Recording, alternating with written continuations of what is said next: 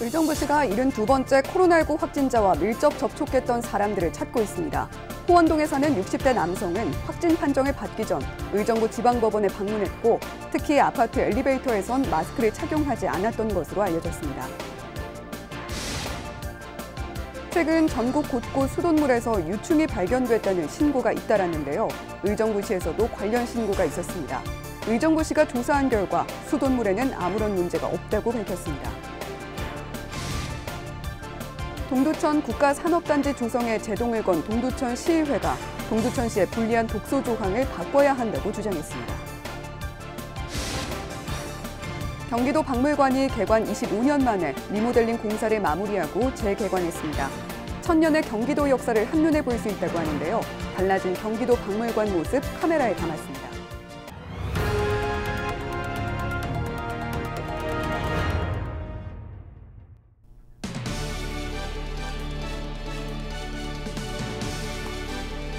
시청자 여러분 안녕하십니까? 헬로티비 뉴스 나라입니다. 첫 소식입니다. 의정부시가 72번째 코로나19 확진자와 밀접 접촉했던 사람들을 찾고 있습니다. 72번째 코로나19 확진자는 호원동에 사는 60대 남성 A씨로 A씨는 확진 판정을 받기 전인 지난 22일 의정부 지방법원에 방문한 것으로 알려졌습니다. A씨와 함께 방청했던 사람은 20여 명으로 추정되는데 의정부시는 22일 오전 10시 14분부터 10시 40분 사이에 의정부지법 신관치료법정을 방문한 사람은 보건소에 신고해달라고 당부했습니다. A씨는 또 증상 발현 이틀 전인 18일부터 나흘 동안 거주지인 호원동 한신 2차 아파트 엘리베이터를 이용했는데 당시 마스크를 쓰지 않은 것으로 알려져 방역당국은 A씨와 밀접 접촉했던 사람들의 신고를 기다리고 있습니다. 한편 A씨와 동거하는 부인과 딸 등은 모두 음성 판정을 받았습니다. 동두천 국가산업단지 조성에 제동을 건 동두천 시의회가 동두천시의 불리한 독소 조항을 바꿔야 한다고 주장했습니다. 동두천 시의회는 30일 보도자료를 내고 상패동 국가산단 조성에 절대 반대하지 않지만 동두천시와 LH 사이의 협약안이 동두천시에 지나치게 불리한 독소 조항을 포함하고 있어 사업에 제동을 건 것이라고 밝혔습니다. 시의회는 특히 협약 내용 중 미분양 용지를 동두천시가 100% 매입하는 조항 등은 동두천시에 엄청난 부담이 될 수 있기 때문에 동두천시 이익을 지키기 위한 어쩔 수 없는 선택이었다고 강조했습니다.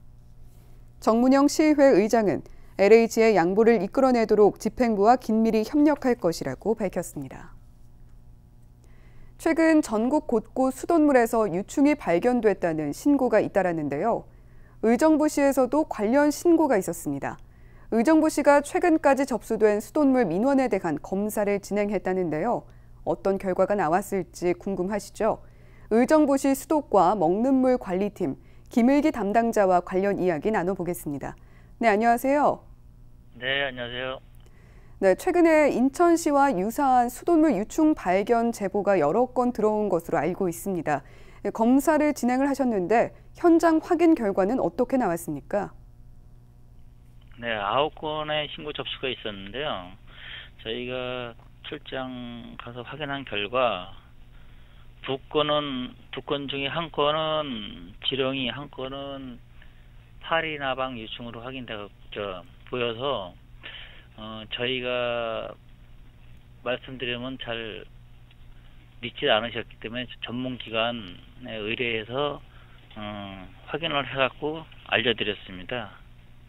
그리고 일곱 건은 저 이물질, 뭐 고무 저 청소하다 뭐 찌꺼기 같은 거 고무 같은 게 이제 미세한 고무가 그 수돗물에 딸려 들어갔는데 수돗물에 얼뜻 보면 그게 뭐 지렁이 같이 유충 같이 보여갖고 시민들이 신고를 한, 한 건이었습니다. 그래서 의정부에서는 깔따구 유충 같은 건 전혀 나오지 않고 어, 우리 정수장에서도 이제 관리에 신경을 많이 쓰고 있습니다. 네, 신고 사례 9건 모두 수돗물이 오염됐다거나 공급 개통과는 무관해서 다행이긴 합니다만 인천을 시작으로 여러 지자체에서 유충 발생 민원 상당수가 사실은 외부 요인에 의한 것이다. 이렇게 판단이 됐단 말이죠. 가정에서는 또 다른 걱정을 하게 됐습니다. 위생 문제인데요. 이 부분은 어떻게 보십니까? 사실상 아 파트 그런데 나온 데 가보면요. 화장실에서 주로 나오거든요. 화장실이나 세면대에서 많이 나오는데 습하거나 여름에 습해서 생기는 거고 화장실 같은 경우는 지금 청소를 안 해서 지저분한 데서 생기고 있어요. 가서 민원들은 데 가서 조사해 보면은 하수구kun형이 시커멓고 머리카락 잔뜩 껴 있고 그러니까 그런 데에서 나방파리가 생겨요. 나방파리가 생기면은 그게 날아다니면서 알까면은 또 그 까맣게 기어다니는 그 유충이 있어요.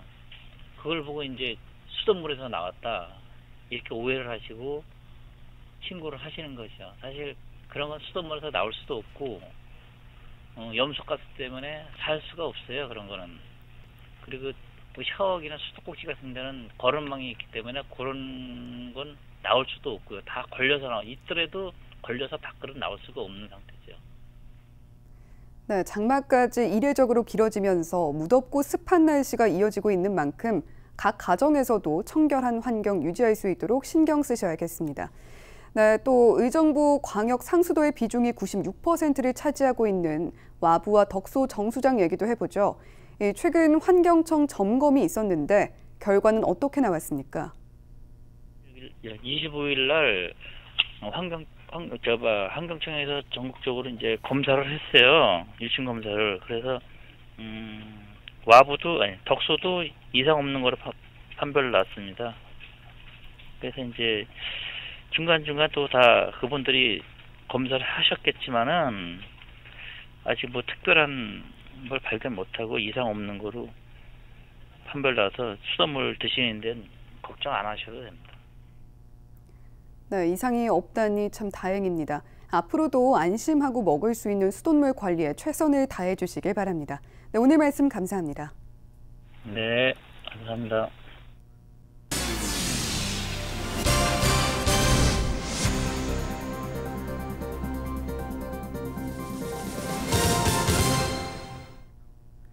경기도 박물관이 개관 25년 만에 리모델링 공사를 마무리하고 재개관했습니다. 천년의 경기도 역사를 한눈에 볼 수 있도록 동선을 개선하고 특별 기획전을 통해 도민들의 발길을 사로잡을 계획입니다. 김호 기자입니다. 11개월의 공사 기간을 마치고 새 단장한 경기도 박물관. 어둡고 다소 폐쇄적이었던 공간은 밝고 열린 공간으로 모습을 바꿨습니다. 기존 낮은 천장은 높이고 투명한 유리가 그대로 드러나는 모던한 분위기로 옷을 갈아입었습니다. 관람객의 편의를 위해 한방향 강제 동선이 아닌 선택적 동선을 하도록 했고 선사 고대 유물의 경우 다섯 개 층으로 나눠 수장구 형태로 전시해 한눈에 전시물을 볼 수 있게 했습니다. 무엇보다 기존 테마로 이루어졌던 전시실을 선사 고대와 고려 조선, 근현대 등 시대별로 나눠 경기도의 변천사를 손쉽게 알 수 있도록 했습니다. 경기가 국가 근본의 땅이라고 하는 그런 그 정체성을 가지고 있는 그 곳이라고 하는 개념을 다시 만들어냈고 그것을 토대로 해서 그 천년의 경기도 사람들의 이야기를 펼쳐나갔다고 보실 수 있습니다. 경기도 박물관에는 240점의 국보급 보물이 있을 정도로 귀중한 전시물이 많습니다. 이 같은 전시물들은 대부분 경기도민들의 기증품으로 채워졌습니다. 3만 5천여 점의 전시물 가운데 60%인 2만여 점이 도민들의 기증품입니다. 25년이라는 세월과 도민들의 정성이 함께 묻어있는 경기 도민의 박물관으로 다시 태어난 겁니다. 여산 송시문 중에서 저희 박물관에 기증을 해주신 그런 자료입니다. 현재 그 보물로 지정이 되어 있습니다. 이 초상화, 선조 어필, 정조 어필이 함께 있는 자료입니다. 그래서 그 그런 의미에서 그 굉장히 그 중요한 자료고요.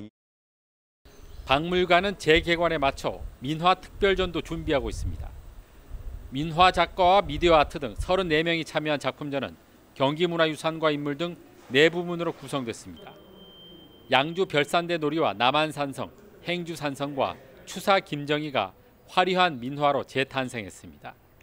또 경기도 31개 시군은 저마다의 특색을 살려 도자기 형태로 꾸며졌습니다.